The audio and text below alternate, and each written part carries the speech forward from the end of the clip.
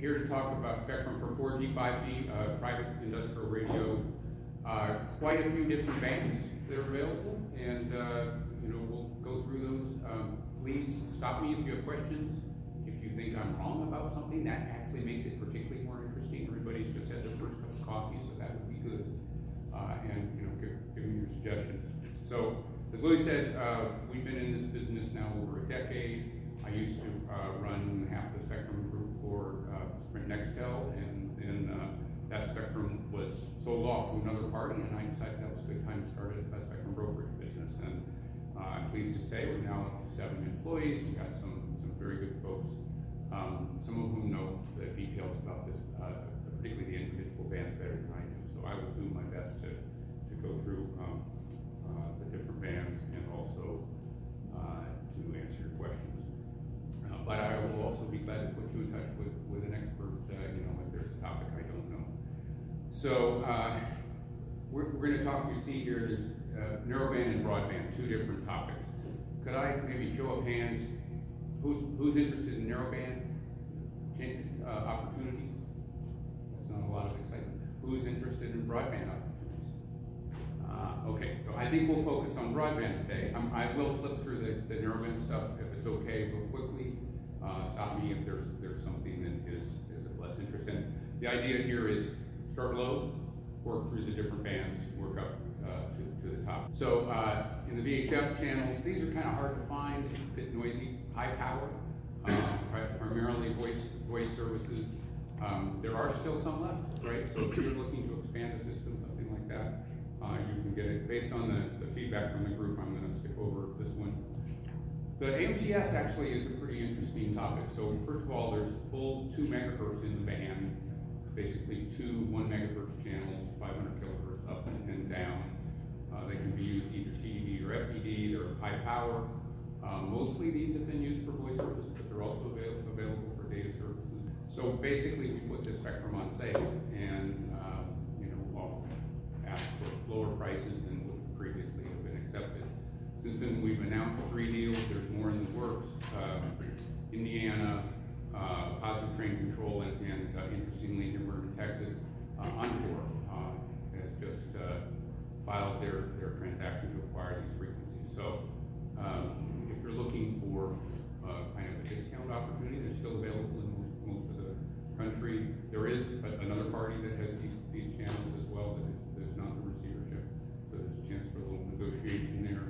Uh, great propagation, uh, low noise environment, um, uh, and uh, you know there is essentially there's one land mobile radio company that actually actually has sold product. There's a couple others that have announced.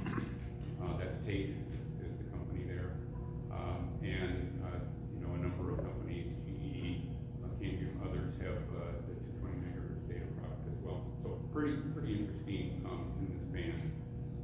Uh, 218, 219, um, very limited availability. There happens to be some in Houston and Dallas.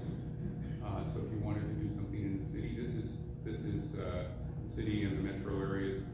Um, these licenses, similar propagation, obviously. This actually sits in the middle of the AMTS band between the 217 version and the 219 version.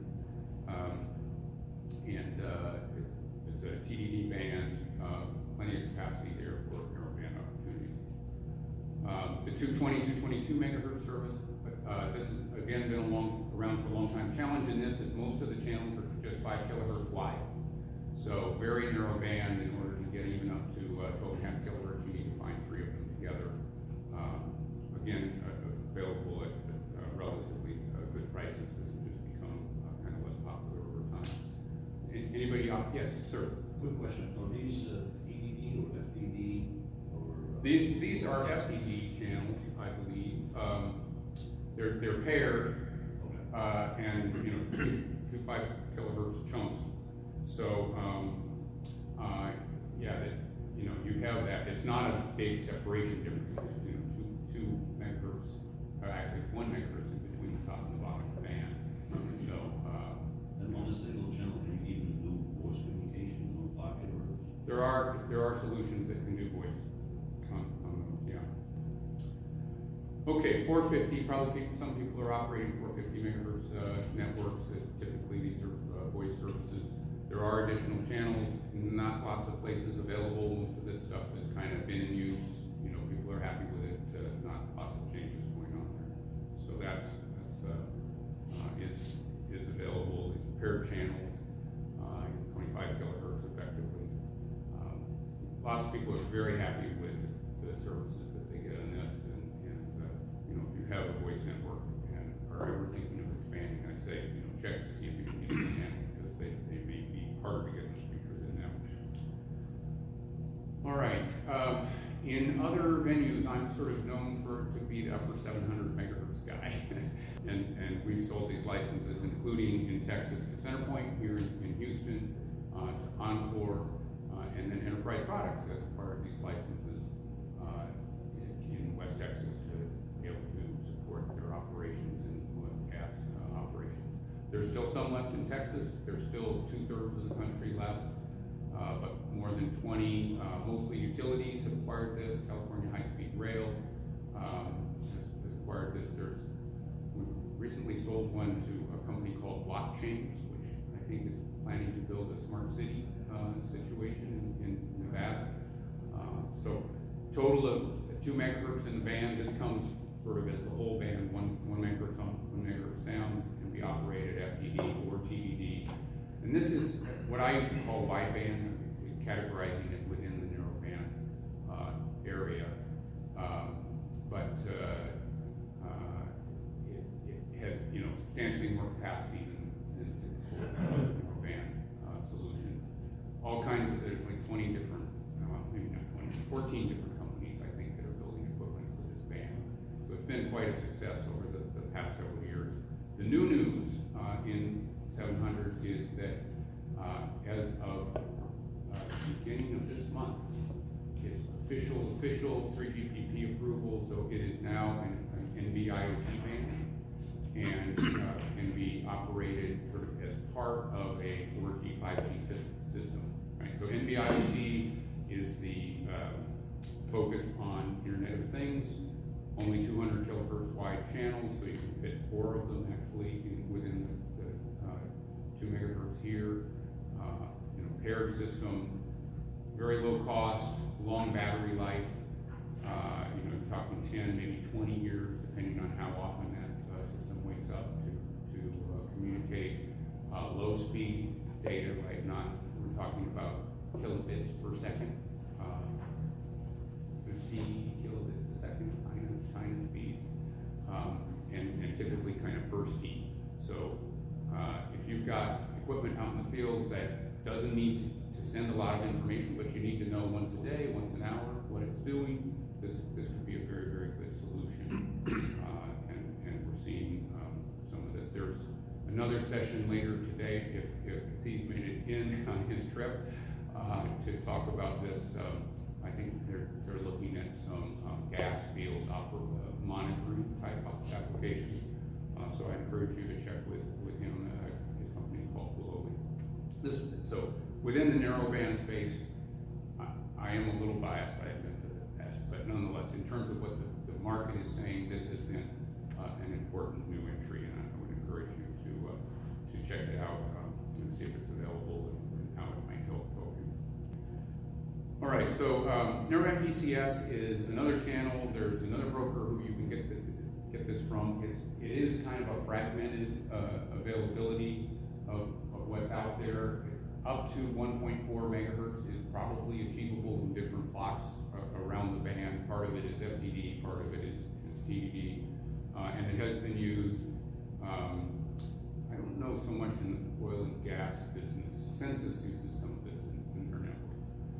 so, you know, it has been used in successful and I think, oh, so yeah, we, we did do kind of a comparison, um, and, and these slides will be available, I'm sure, if you have trouble getting from, from ENTELEC, you can get it from me, but sort of, you know, different applications along the left, different frequencies, uh, and, and, you know, kind of relative comparisons, uh, you know, what's the relative propagation of the different bands, the darkest green is best, the red is, is uh, look out, maybe, maybe, some issue, some issues here.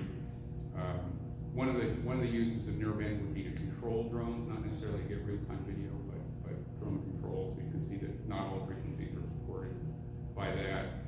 Um, so just, I don't know if anybody has a particular comment or, or observation on this. I know the focus was more on the broadband. Kind of worthwhile as we look at these. In general, more green is better, according to the opinion of, of folks in my company. Hey, Bob, Yeah, what's, what's band? pardon me? Band, F-A-N? Oh, field area network. So common term in the electric uh, utility industry, right? And the, the concept, you know, a lot of these electric utilities or siloed organizations, they have built multiple different networks to support different applications. And so there's a big push. It can be done on these frequencies, on, particularly on the seven hundred, um, or to go to broadband and support a wide range of, of solutions. So, thank you for the question. And there are the companies, some of the companies, many of the companies that, that support the narrowband communications. Yes, sir. Um, in the context of when you say that the good news is that you have a 3GPP band supported for the For A-block, seven, right? for the seven hundred. Yes, so, um, and we understand that it's uh, PCS 900. Has there been any discussion of aggregating between the multiple bands because these are small, small bands? The aggregation to get the higher bandwidth, right? Um, ha- has there been any discussion, any work item are you aware of or being, being, um, being heard about or have you seen that feedback coming from the people? So, um, in, in IEEE, there is an effort called 8016T, uh, that is essentially narrow channel WiMAX to pick up all these slices. And I'm, I'm somewhat involved in that, and it's getting support from the likes of Siemens, and Ondas is kind of the lead company with, within that. Um, so, you know, I think that is very relevant for private networks. The railroads seem to be pretty interested in, in that. Yeah. Um, so that is, is going on. Within the 3GPP standards, kind of where most people are going, right? The, the, there's been a lot of discussion from me mostly, but others as well, for a long time to say, if you have the 700 narrowband, you can have a wide coverage, right? If you need broadband in places, then CBRS would be a really good solution, and now we're talking about the 1.6 gigahertz, which I'll get to in a, in a minute. So, um, you know, that is how carriers build their networks, right? Your Verizon phone, if you're out in the boonies or AT&T, works on 700 megahertz uh, spectrum typically. If you're in a city, more likely it's working on midband, dot nine, something like that. If you're in a, an arena these days, you're gonna get 5G up in the millimeter wave. So, so, uh, particular, T-Mobile calls it layer cake, right? Lowest frequency, widest coverage, but, but capacity issues, you need a lot of capacity, higher frequencies, and that's how they build cake. Um, I think that will happen in other networks as, well, is broad coverage at lower frequencies, we do on some of these narrowband frequencies. And we do, in fact, that's my session at, at UTC. So come to Oklahoma City in two months, and, and or one month, and you'll see that. So 600 megahertz was an auction that didn't go terribly well for the FCC. It went well for T-Mobile. T-Mobile has a lot of it here. It went reasonably well for Dish. Um, and, and in much of the country, um, it's basically T-Mobile and Comcast or T-Mobile and Charter or something like that, and you can't get it. But in places where they didn't buy, and particularly in rural areas, and I think it would include some energy production areas, there may be 600 megahertz spectrum available, and it's likely in the hands of an investor who bought it at auction with the expectation that they were going to sell it to T-Mobile or AT&T or Verizon. Well, AT&T and Verizon aren't in this band, and you know Dish is kind of just coming along trying to decide what really what it's going to do, and they have, fair, they have more frequency than customers, right? They have more spectrum than customers. So um, it's possible that you could get some of this, and if you can get it, it's five by five, great propagation, lots of devices, 3GPP. It's it's really really good stuff. So uh, we don't well we, we do represent one or two holders of this. We don't have a lot of um, places around the country, but we can tell you if it if you say hey I want it here in this county, this county, this county. Um, we can tell you whether it might be available or not and who has it, and we'd be glad to work with you to talk talk to those investors. If it's in the hands of um, T-Mobile or Comcast, you probably don't have enough, uh, pull to, to get it out of their hands. But that, that's my opinion, it's, you know, you- we can always make a call. But potentially, really good spectrum. What, it's not gonna be terribly cheap. All right, uh, the nine hundred megahertz broadband, um, this is, uh, earlier Louis mentioned, um, this used to be part, I used to be responsible for this when I was at Nextel and Sprint, this particular spectrum. It was kind of the narrow slicey stuff that, that used to be the Nextel push to talk service, if you guys remember that. Um, when they, when Nextel and, and Sprint merged and then, uh, Sprint said, listen, you know, this isn't really, this narrow channel stuff isn't really part of our plans, they sold it all off to the founder of Nextel and, and they are attempting to take all of the little narrow slices and put them all back together. And they've got 3GPP approval and they've got three customers so, so far. They've done some significant transactions. Um, so far they've cleared 21 counties out of the 3,000 that we have in the US for, for broadband. So they have a, a long way to go in terms of actually getting this cleared. But um, they're making a lot of uh, good marketing efforts and, and they have some very qualified folks I'm sure would be successful over time. All right, um, 1.6 gigahertz. Basically, this, is the major reason I'm here, by the way. So Ligado has the 1.6 gigahertz spectrum. It's total of 35 megahertz, 30 in this L band, which is approved for a year and a half as band 24 by 3GPP. Available nationwide. Used to be satellite spectrum. Uh, and they went to the FCC. They said, okay, we want to pull off a portion of our spectrum and use it for terrestrial purposes. The FCC said okay. It was back and forth with um, different adjacent holders. GPS folks were concerned because GPS, as you can see, sits in the middle. In the end, it was resolved by backing away, you know, creating a guard band and lowering the power. So great spectrum, lots of capacity. Power limits are low. Right? Uplink is 200 milliwatts uh, ERP. So um, EIRP, I'm sorry. So uh, it, this this could be very very good spectrum. By the way, it's lease not buy because it's a satellite license overall. So they have to maintain that satellite license. They'll lease it to you for as long as you want. Um, but uh, if you want broadband, particularly kind of small cell broadband, uh, this this is a great opportunity, and it has been supported by Qualcomm and and uh, you know major manufacturers. Um, Nokia and Mavenir have announced products.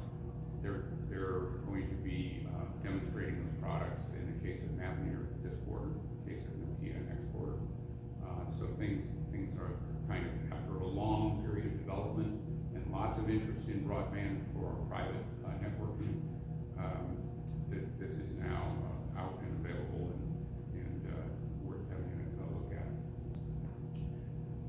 All right, uh, so the other part of the 1.6 gigahertz band is uh, I, only a only a spectrum guy could love this name, the 1670 to 1675 megahertz band. if anybody has a better suggestion for a name, please let me know.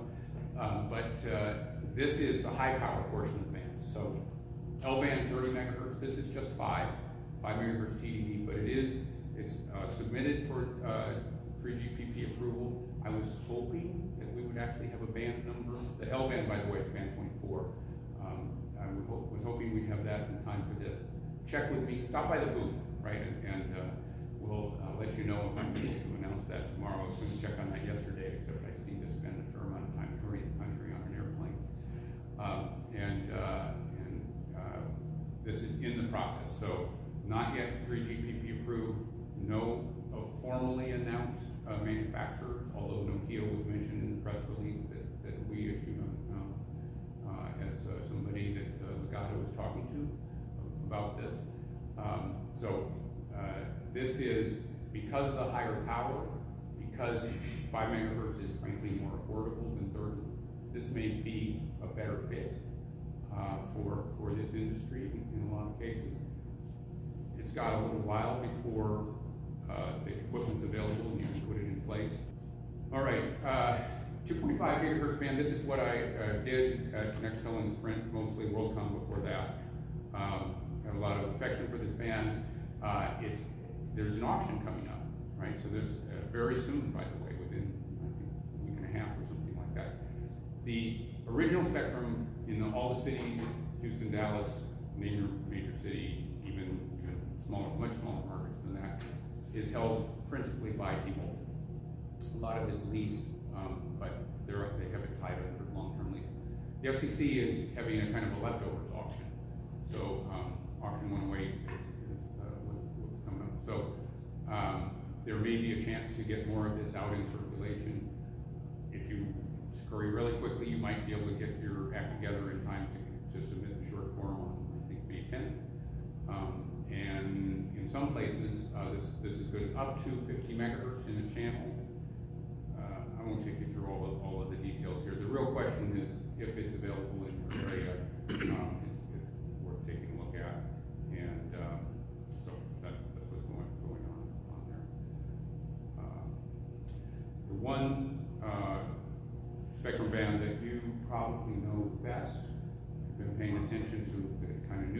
past several years, CBRS, folks out there operating either three point six five networks in, in some service today, I'm seeing some nodding of heads, or you've heard about CBRS, you're, you're thinking about, about this. Um, so, total of hundred and fifty megahertz, uh, eighty percent, well, eighty megahertz available for so-called GAA use, general authorized availability, general authorized access. Uh, the other seventy under, uh, so-called primary access license, PAL license. Uh, we are seeing, you know, fast take-up. If you're in the GAA space, you may be seeing some challenges, uh, getting channels, and, and, you know, noise issues and, and that kind of thing. Um, we, we are representing, first of all, we bought some PALs, uh, folks that, that we're affiliated with, it's not officially under the Select Spectrum name, but it's, it's us. Uh, and, and secondly, uh, we represent, uh, PAL holders, I think altogether we have something like four hundred licenses across the country. By the way, you can go on our website and there's a search function and you can pick your band and your location and it'll show you at least what we know is available uh, for acquisition. Um, in this case, it is a tiered access, so the government has the, the primary rights. Uh, essentially, they can kick you off uh, if they need to. There's some submerged station areas where you have to uh, be careful where you operate. Uh, near the coast, you could have potentially naval radar come in and kick you off. And the SAS, Spectrum Availability System, uh, controls all of this. You have to pay for the SAS, right? So it's a monthly fee or a, a built into the cost of the equipment. Federated Wireless is, is a operator here, so is Google, but unlike Google's service that we all know, they're not giving it free, pay, pay for, for the SAS services. Um, but it is a way that you can build a wireless network pretty much anywhere. You may have different levels of challenge depending on where you are in terms of the, uh, the interference issues. Power levels are not that high. The propagation, as, as we go up the frequency band, right, the propagation gets, gets smaller. Uh, so there are some, some challenges in this band. Lots of equipment availability, which is, uh, you know, a big plus. Uh, so if, if you need to do something right away, this is a good place to look. So again, uh, darker green is, is a better situation. Uh, we don't have any red on this slide, which is, which is a good thing. This is our, our view. Um, along the vertical axis, we have a 3GPP standardization, not required, but because there are excellent industrial radio suppliers, but has, has advantages in many situations. Propagation the next channel down. Most of these propagate pretty well. You see the higher frequencies, not quite as well as lower frequencies. Um, channel width. So channel width is worth mentioning. Um, the minimum, at least today, to be in the 5G standard and, and the, what the 5G standard was was designed for was wider channel width. The minimum they said was five megahertz. So if you have less than five, and some of these systems, one of these systems, comes in blocks of less than five, you are essentially capped at 4G. And if people think about it, you know, now that we're putting in 5G systems, 3G, 3G systems are coming out, right? Everybody's got a 4G phone. If you're changing out phones every three years, that's no big deal. if you're trying to run an industrial system, um, you know, you may be concerned about putting in 4G, which I would say is kind of a five year, or 10, sorry, 10 years more life from, from now. 5G's already already coming in more like twenty years support life. So at, at least something to, to think about. Um, throughput, all of these are good, you know, higher frequencies, uh, with more bandwidth are, are even better. In, building penetration kind of goes with propagation, better on the lower frequency end. And, uh, you know, the one we pay a lot of attention to is how available is it, right? So in the end, it only matters whether it's available where you want it, right? So, so come and see, but, uh, we're, excited about the Ligado spectrum, because it's, available nationwide, it's available today. Uh, So that's, that's good news. In terms of suppliers, you know, everybody's building for, for broadband, um, but, uh, uh, you know, there's more and more, um, uh, coming along. All right, so, uh, we have time for questions, including for people who came in late. If, I- if, if you missed something, feel free to ask a question, uh, that, terms of interest in spectrum.